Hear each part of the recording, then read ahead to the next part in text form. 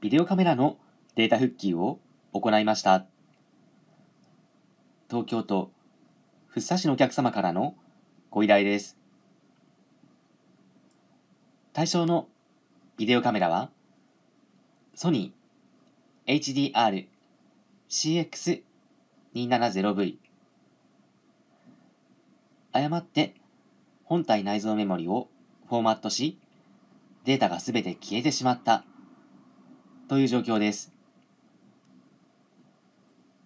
データ復帰処理を行い、4時間53分の動画データの復元に成功しました。